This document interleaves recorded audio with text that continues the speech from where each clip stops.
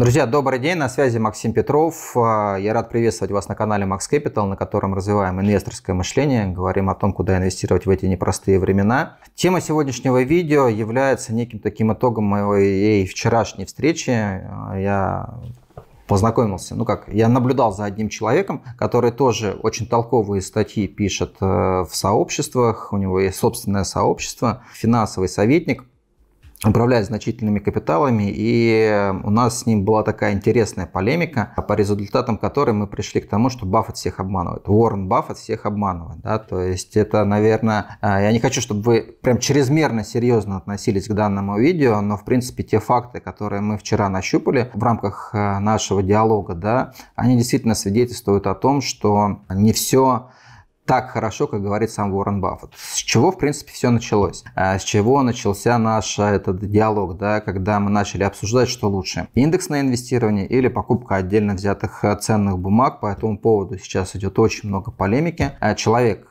очень много говорит про индексное инвестирование. Я, соответственно, старался привести аргументы выбора отдельных акций. Кстати, если вам интересно, чтобы мы там в эфире на канале вышли, записали интервью а, и поговорили на различные темы, связанные с инвестициями. Оставьте комментарий под данным видео и тему, которую бы вы хотели, чтобы мы обсудили на этой встрече. Если действительно будет большой запрос, то организуемся и запишем. Итак, откуда это все началось? Да? То есть эм, человек говорит мне о том, что индексная инвестиция навсегда, что это самая крутая история, которая сейчас может быть. Я, соответственно, привожу аргументы, но высокая концентрация акций в индексах, в том, что это позволяет манипулировать. И самое ключевое, мой аргумент заключается в том, что когда более 50% э, частных инвесторов начинают инвестировать по одному и тому же алгоритму, появляется определенная неэффективность. Да? То есть у тебя получается больше половины людей действуют согласно определенного стереотипа. Да? То есть это позволяет в условиях, когда ты понимаешь, рынок, когда ты можешь оценивать компании, на вот этой неэффективности работать. Но условно включили там какую-нибудь компанию, которая не зарабатывает никакой чистой прибыли, Тесла, например, да, включили в индекс, индексные фонды начали автоматически ее непосредственно покупать. Это автоматически привело к тому, что цена акции начала расти, и это стало двигать индексы вверх, и то есть получается некая такая петля обратной связи. Высокая концентрация – индексные фонды толпа покупает, соответственно, акции там фанк, а автоматически индексные фонды покупают эти акции, автоматически индексы растут. И получается вот некая такая спираль, которая раскручивается. Много там было там наша полемика по этому вопросу, но в итоге последний аргумент человека за индексное инвестирование говорит о том, что ну Баффет, да, даже Баффет сказал о том, что э, своим наследникам, ребят, с экономикой Соединенных Штатов Америки будет все хорошо, когда я умру, инвестируйте в индексные фонды. Я говорю, очень замечательно. Почему же тогда сам Баффет не инвестирует в индексные фонды? На что он говорит, Макс, ну, на поверхности все лежит. Давайте посмотрим структуру активов фонда Berkshire Hathaway. Баффетом в структуре портфеля Berkshire нарушен основной принцип управления портфелем диверсификация, да, то есть у него очень высока доля Apple. То есть начиная с нулевых годов, если бы в фонде Berkshire Hathaway не находилась акция Apple, с очень высокой долей в портфеле, да, которая значительно превышает хрестоматийные примеры, какая бы акция ни была, как бы она вам не нравилась, доля одной акции в портфеле не должно превышать там 10, ну максимум 15%. Если посмотреть то, какую долю занимал Apple в портфелях Berkshire, то доходила доля и до 20-30%. То есть если бы Apple не было в фонде Berkshire, то доходность портфеля Баффета, начиная с нулевых годов по настоящее время, была бы значительно хуже доходности, в принципе, широкого индекса. Возникает вопрос, почему Баффет купил такую долю Apple? Тогда мы начинаем смотреть, кто один из самых больших друзей Уоррена Баффета. Билл Гейтс. Кто такой Билл Гейтс и какое отношение Билл Гейтс имеет к Apple и вообще э, технологичным компаниям, индустриальным компаниям? Сам по себе. Посмотрите историю взаимодействия Билла Гейтса и Стива Джобса, да, то есть где, когда появился Гейтс, а, что сделал ему а, Стив Джобс и каким образом они развивались. Вторая история. Операция с акциями Activision Blizzard. За три месяца, за три месяца до того, как Microsoft заявляет о том, что он купит крупнейшего производителя видеоигр на рынке, Activision Blizzard, Баффет значительно увеличивает позицию и покупает акции данной компании за три месяца. до того, как это происходит. Опять, есть замечательный друг, который, может быть, не является уже SEO Microsoft, но при этом является крупнейшим акционером. За месяц до того, как начинаются проблемы а, у Microsoft получения у антимонопольных органов различных стран разрешения на покупку Activision Blizzard, Баффет выходит из этих акций. Нашумевшая история в последнее время, да, связанная с тем, что Баффет увеличивает позицию в акции японских компаний. Но почему-то никто не знает, что за месяц до того, как а, было принято это решение и как э, фонд Berkshire Hathaway начал покупать акции японских компаний, сам Уоррен Баффет летал в Японию, где он встречался с премьер-министром, с главой Центрального банка Японии. И, соответственно, ровно через месяц после того, как он возвращается с этой поездки, он покупает высокую долю акций компании Mitsubishi. И недавно, опять-таки, была новость, что он увеличил свою долю позиций, да, то есть получил дивиденды от своих дивидендных коров и опять увеличил. И то есть мы опять здесь начинаем говорить о том, что с одной стороны вроде бы как Уоррен Баффет является оракулом из Амахи, но операции последних 15 лет свидетельствуют о том, что здесь присутствует высокая доля инсайдерской торговли. И я не знаю, там, чтобы меня не обвинили в том, что я сейчас какие-то обвинения да, публично делаю в отношении Уоррена Баффета, я просто делаю определенные выкладки. Да, то есть дела, ну что этим делам предшествует, какие есть непосредственно вза взаимозависимости, взаимосвязи, которые можно непосредственно оценить. Поэтому и получается, что из наследников Уоррена Баффета кто у него непосредственно есть. Никто не хочет заниматься управлением, никто не участвует в реальном бизнесе, никто не взаимодействует с людьми, которые занимаются там современными технологиями и компании, которые могут стать лидерами. То есть его детям интересна благотворительность. Ну, в первую очередь благотворительность, в принципе, и Баффету самому это интересно, и свой капитал по большей части он тоже передает на благотворительность, и дети вроде бы этим занимаются. Но то, кто бы подхватил вот эти вот операции, кто бы взаимодействовал с людьми, с Илоном Маском, например, да, с Цукербергом, да, с Безосом.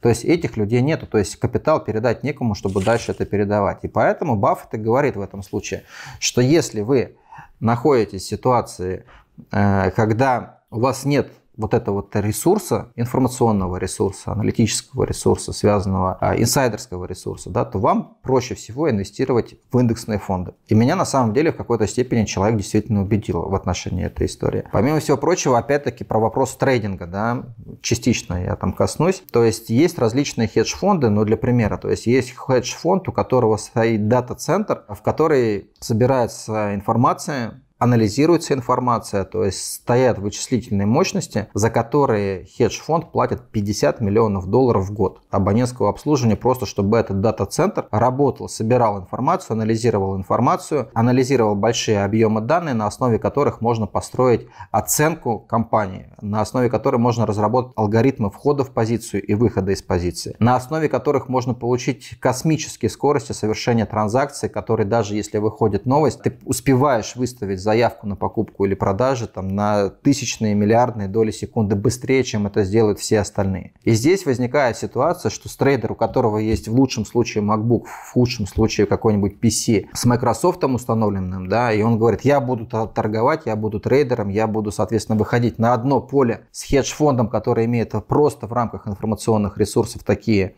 возможности, да, и я хочу его переиграть. И это утопия утопия, да, с которой работают. И эту утопию, соответственно, можно превзойти или путем индексного инвестирования, или путем, соответственно, там, долгосрочного инвестирования активов, да, то есть хорошие качественные активы. В конечном счете, в любом случае, да, мы пришли к тому, что первый вывод, который заключается, трейдинг зло. То есть мы в этом согласились. Считать, что вы придете, начнете торговать, начнете работать, мы там тоже обсуждали э, различных блогеров, трейдеров, да, где тоже, в принципе, пришли к выводу, что если взять всех трейдеров, которые продают различного рода курсы, которые показывают какой-то свой определенный профит, и взять их общий доход по итогам года, из вот этого общего дохода и взять, вычесть тот доход, который они получают от продажи своих курсов ну, убираем, да, то есть это никак не относится к его инвестиционной трейдерской деятельности. Потом возьмем Вот чисто доход, который получили от трейдерской деятельности. Из этого дохода мы вычтем стоимость времени, которое человек потратил. Да? Ну, потому что для того, чтобы торговать, тебе нужно анализировать графики, тебе нужно проводить технический анализ, тебе нужно читать новости, тебе нужно находить позицию входа, позицию выхода, соблюдать параметры риск-менеджмента, то есть нужно, чтобы рука постоянно находилась на пульсе. Соответственно, вычитаем вот это время, да, потому что ты на это тратишь. И логично, что если ты тратишь больше времени, возможно, ты больше зарабатываешь. Но опять-таки, если одно дело, когда ты тратишь 6 часов в день на торговлю, да, из 5-часовой рабочей недели. И другое дело, когда ты вроде бы как приходишь к инвестициям, и у тебя другая деятельность, да, и ты хочешь посвятить там полчаса, один час времени трейдингу, чтобы заработать иксы. Не получится, да, потому что ты в этом случае потеряешь. То есть мы вычитаем еще стоимость времени, которое ты на это тратишь. И третье, для того, чтобы получать достоверную, правильную информацию, тебе еще нужен доступ к аналитики, к информационным материалам, к информационным каналам, и она тоже не бесплатна. То есть это тоже нужно из прибыли вычесть, потому что прибыль, которую ты получил, она образовалась за счет того, что ты оперативно имеешь какую-то информацию. И опять-таки ты ее изучаешь, ты ее читаешь, ты ее анализируешь. И если мы возьмем из, из вот этого сухого дохода, который получаешь от трейдинга, вычтем количество времени, вычтем стоимость аналитики, то в итоге получим, что результат – будет, ну, в лучшем случае такой же, как если заниматься там долгосрочным инвестированием или индексным инвестированием. И тогда возникает вопрос, зачем? То есть, если у тебя капитал создается в другом месте, и вот это вот дурацкое желание из разряда я сейчас 100 тысяч заведу, буду торговать там с десятым плечом на фьючерсах и стану миллионером через три года, но это утопия. Это больше ошибка выжившего. Да? То есть опять есть люди, у которых это получилось, им повезло, им удалось пройти эту бурю без потерь, что-то заработать, и по-хорошему сейчас больше получается продажа вот этой вот истории, что в бурном море работая среди таких титанов, у которых есть информационные ресурсы, инфраструктурные ресурсы, инсайдерские ресурсы, дорогие информационные ресурсы. Вот есть какие-то единицы, да, которые через это прошли и сделали какой-то небольшой капитал, а теперь продают успешную эту историю. Это ошибка выжившего, по которой попадают сотни, десятки, тысячи или даже десятки тысяч людей в надежде тоже обрести вот этот вот, а, как постоянно известная российская история, лежать на печке, ничего не делать, нажимать кнопочки зеленые и красные и со 100 тысяч зарабатывать по полтиннику в месяц. Утопия, большая утопия, поэтому лучше развивать мышление или идти в вопрос индексного инвестирования, в том числе долгосрочного. Хорошая, классная, адекватная история. Опять-таки, даже Баффет это советует. И этим видео я действительно вам постарался объяснить, что, наверное, за деятельностью Berkshire Hathaway стоит не только успешный отбор бизнесов, которые покупались. Этого отрицать нельзя. Эта история продается, сами результаты себя показывают, но при этом, если посмотреть на последние 10-15 лет данной истории, мы видим, что там большая доля инсайдерской торговли. И тогда возникает вопрос, а есть ли у вас такая возможность? Хорошим вариантом может быть купить э, акции Berkshire Hathaway до тех пор, пока там присутствует Уоррен Баффет. Что ж, друзья, а, если вы хотите узнать мой собственный портфель, да, то есть я все-таки не индексное инвестирование использую, а использую отбор отдельных историй, какая доходность данного портфеля, из чего состоит, записал по этому поводу, у нас был отдельный мастер-класс, причем мастер-класс, он э, двойной, да, то есть есть первая часть, есть вторая часть. А ссылку на данный мастер-класс можете получить под данным видео. Проходите, забирайте 4 часа видео, каким образом себя вести в текущий момент в плане формирования своего собственного инвестиционного портфеля. Ну и относительно гостя, с которым мы общались, если вы хотите его увидеть у нас на канале, обязательно оставьте комментарий под данным видео. Сегодня у меня на этом все. На связи был Максим Петров. Пока-пока.